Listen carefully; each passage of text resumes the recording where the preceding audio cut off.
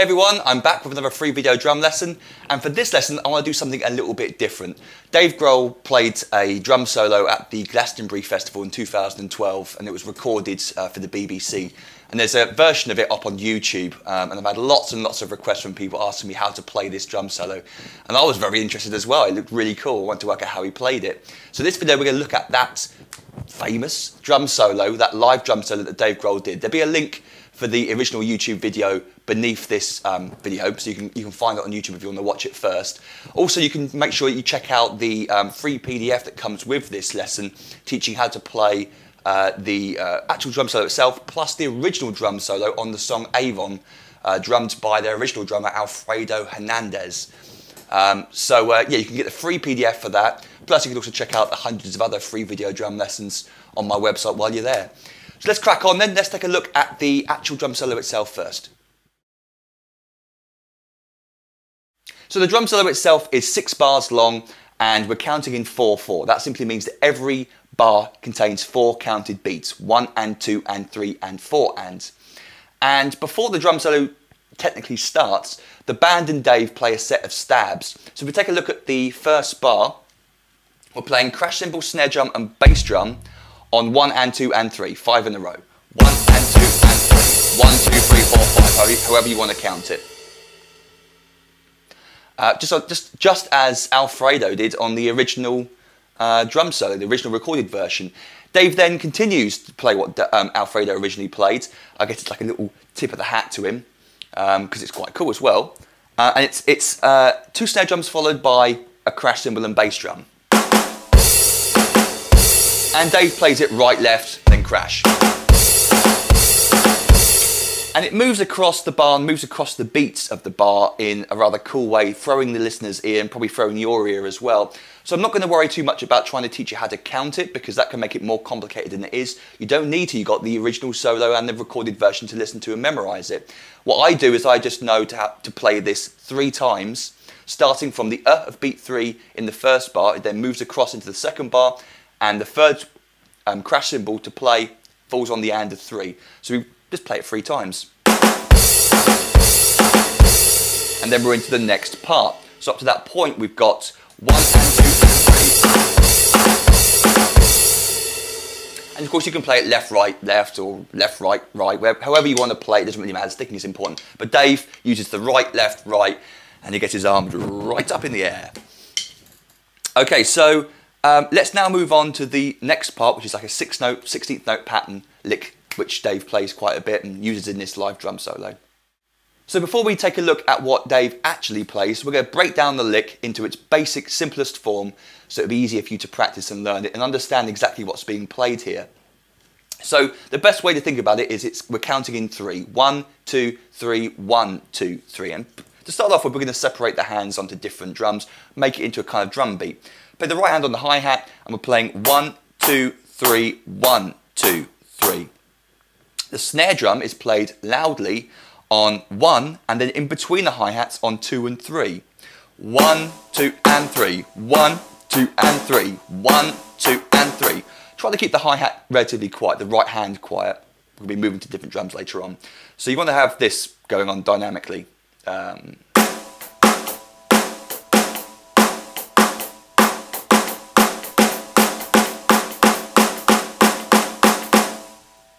The bass drum then falls um, in between the hi-hats on one and two, and also at the end of the lick, uh, the sixth note between the hi-hats on three and one when you loop it round. So very slowly, um, it sounds like this.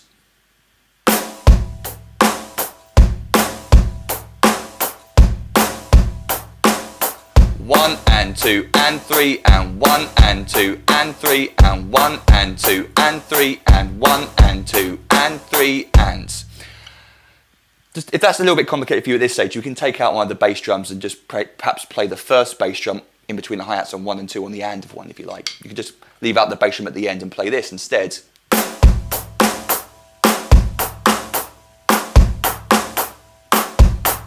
Your right hand's still leading you, still keeping in time. So you can take bits out depending on what you find easier or more difficult. Um, but that pattern again, perhaps a little bit faster now. Oh, no, play, play it properly for you.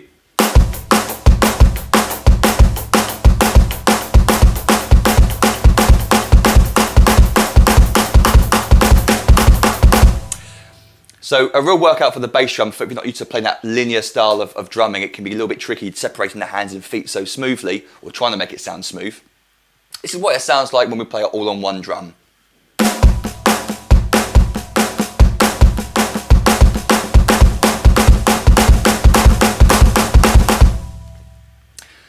So now if we go back to the actual PDF, what Dave, take a look at what Dave actually plays. Okay, so starting on beat four, of the second bar, we play this six note pattern through 16th notes. So we're counting four E yander, one E yander, two E yander, three as we move into the second line, the, the third bar. Start from beat four, remember, four E yander, one E yander, two E yander, three E yander. Now, again, this is a section of the song, um, the solo, where if you're playing up to speed, it's really hard to count. Um, so you can just sort of use muscle memory, learn the pattern off by hand, off by heart, off by hand. That's a good one. And um, you then you then don't have to worry about counting. You can then just focus on just um, feeling it, putting more energy into it rather than reading and counting. But uh, the first grouping of six, remember we're playing 16th notes, so we're playing 4E, Yander, 1E. That's the first grouping of six. Starts with a flam. And it's every time that Dave plays a flam, on the first time he plays it, and that's simply just um, playing a left hand flam, the first note of the six, it's going to be flam, simple as that.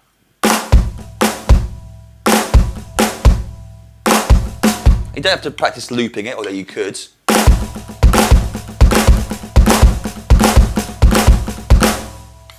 want to accent the second left hand note as well.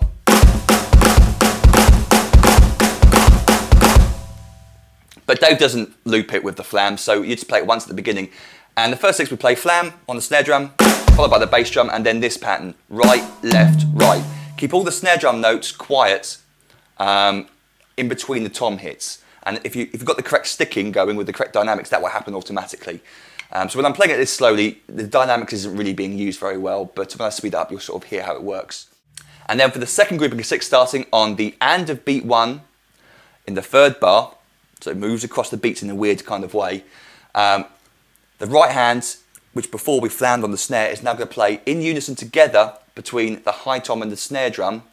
Then we play the same bit at the end, right, left, right again. So for the second grouping six, starting on the and beat one, we get one, uh, one, two, three, four, five, six. That's how I'm going to count it. One, two, three, four, five, six, just to make it easier. One, two, three, four, five, six. And then the next grouping, which starts on beat three, it's the same thing again, but we play on the floor tom with the right hand.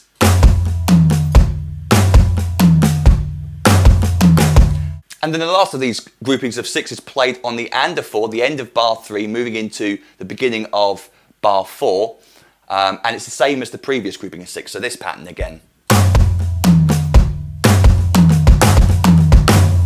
So Another way to look at this PDF, um, which I haven't marked on it, I don't want to distract you too much from the, the, the notes themselves, but you could see, you could imagine that um, there's these groupings of six going through 16th notes, and starting on beat four of bar two, ending on the E of beat one of the, of the third bar, and so forth and so forth. And you can see the accents.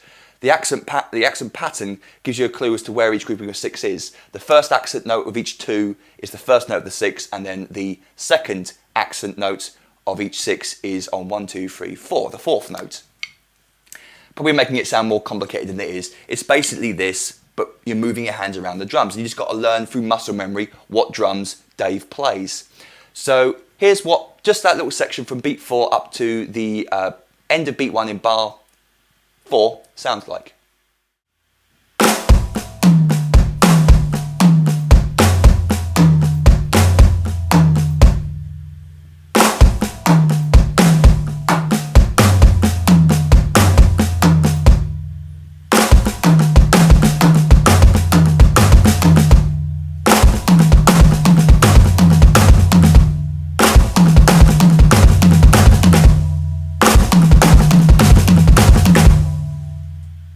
So you can sort of see how when you speed it up, it uh, changes how it sounds and feels.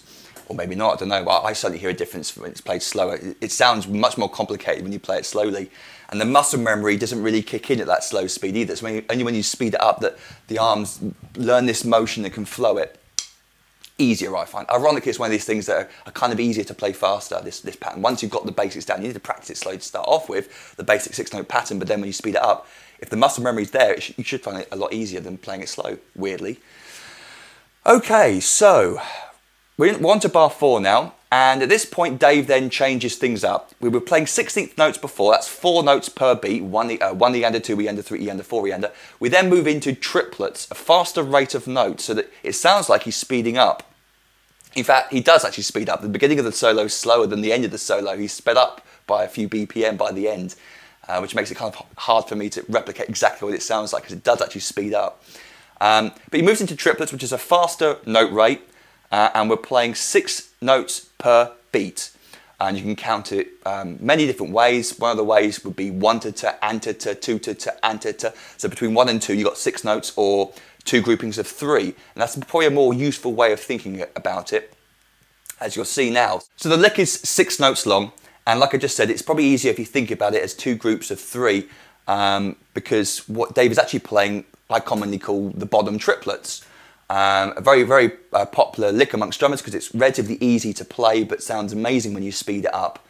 Um, it sounds like you're doing loads of cool stuff when you're not really, you're playing three notes, right, left foot, right, left bass drum. Works really well in triplets because we're working in, in groups of threes and sixes, so they fit nicely within the beat. And Dave plays the first Bonham triplet between the snare drum and high tom, bass drum, straight into the floor tom with the right hand.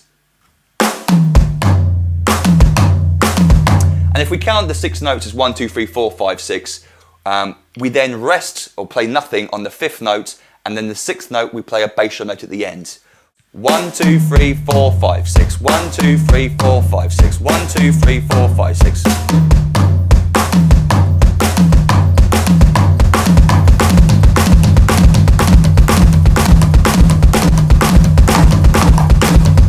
Give those two first notes some welly.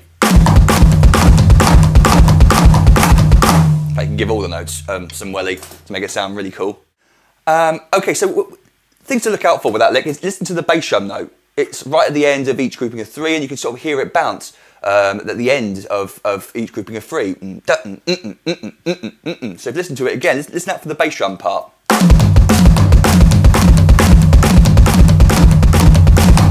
Keeps smooth all the way through.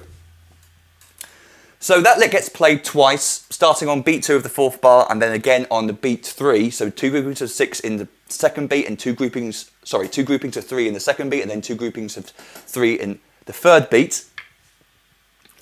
And then from beat four, Dave changes it up to the constant Bonham triplets, right, left foot, right, left foot. We just add in that left hand note. Um, and uh, all we have to do for that last part is just keep the left hand up on the high tom, and all we're doing is worrying about where the right hand note is being played. And he moves the right hand note to create quite an interesting rhythm.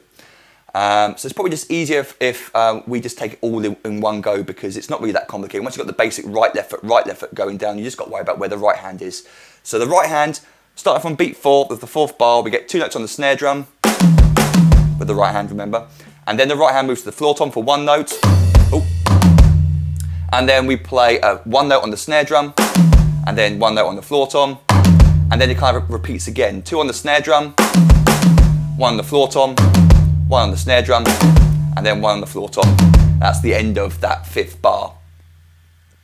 So starting from the fourth bar, beat four, up until the end of the fifth bar, slowly sounds like this.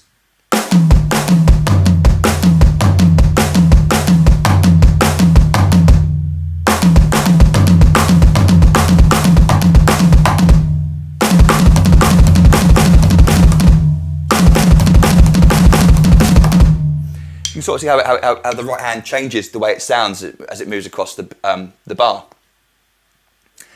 And then for the last bar, it's just floor tom, high tom, all the way to the ends. End of beat, end of the bar on beat four. We're playing one and two and three and so if you haven't worked out by now, if I, if I haven't made it clear enough, apologies. Um, each of these Bonham triplets is taking up half a beat.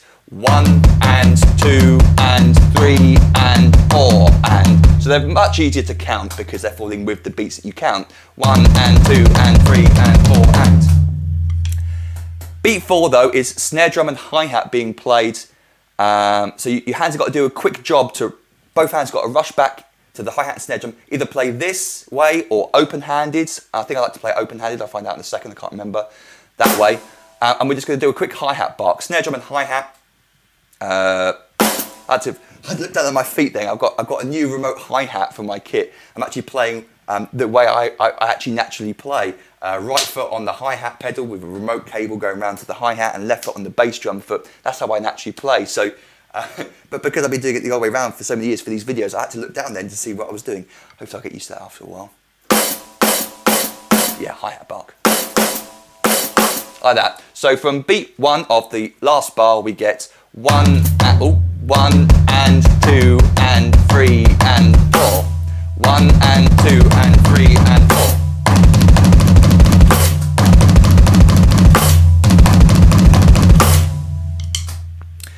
So now let's take a look at, um, let me play for you from beat two of the third bar up until the end of the solo slowly. Uh, beat two of the fourth bar, sorry. So we're starting with this lick. Starting from there. Okay, here's what that sounds like.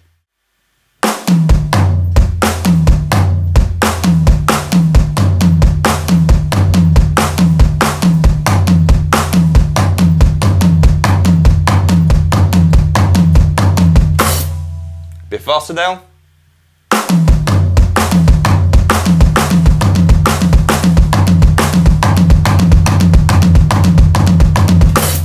And a bit faster.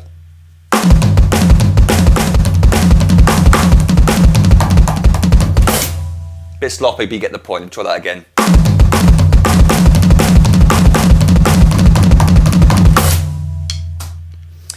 Um, and we've obviously heard the, the uh, actual version at the beginning of this video, um, and it's pretty pretty fast. In fact, I think it's probably faster, to be fair, to be honest, um, than I actually play it. I, I, Dave Grohl's a, just such a good drummer. He, he makes um, this pattern sound so easy to play, uh, so he makes it sound so smooth that it's really hard to play fast. Um, these these Bonham triplets smoothly, I find. Um, so yeah, that, that's uh, that, that's what that section sounds like. By the way, I just suddenly thought, um, but going back to the, this lick, one way you might want to practice it, going from that bit into the Bonham triplets, is to do something like this.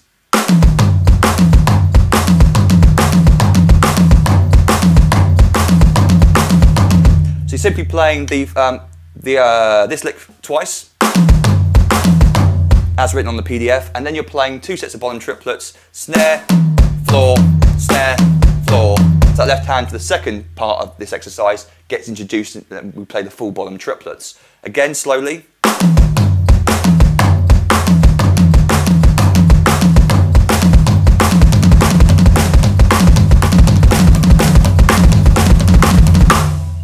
Just to get used to that, introducing, taking out, um, and also you can use it in many other different ways in your playing as well. Once you've learned it, you can use it elsewhere, of course. Okay, so uh, let's have another listen to what the whole drum solo sounds like up to speed.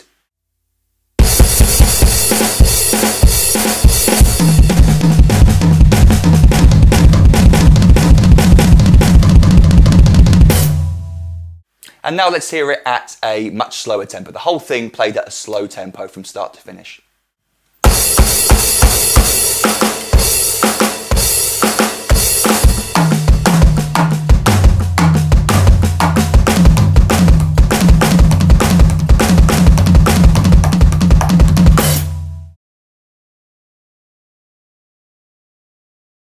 And finally, what I want to do is just very briefly take a look at the original drum solo on the album, um, the uh, song Avon, uh, drums by Alfredo Hernandez. I hope I'm pronouncing that correctly, um, just because it's a cool uh, drum solo as well. Let's first of all take a listen to, or take a look at me playing the original solo up to speed.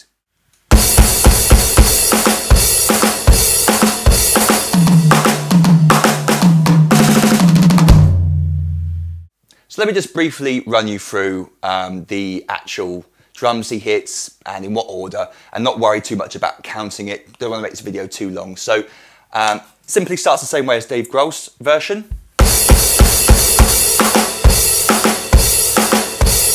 And then we move to this pattern where we play two notes on the snare drum, two notes on the high, drum, uh, high tom, two notes on the snare, again on the high tom, again on the snare, and then the final time we play snare drum and then high tom, and then another note on the high tom with either your right or left hand, depending on what you want to do.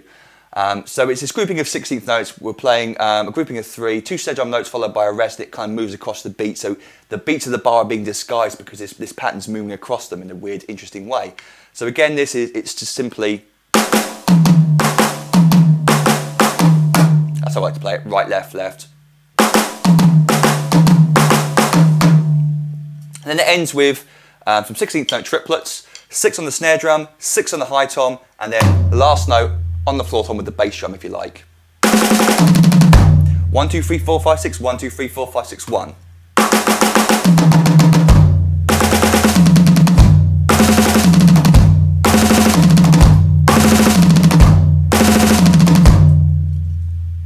So let's now try and play the whole thing slowly.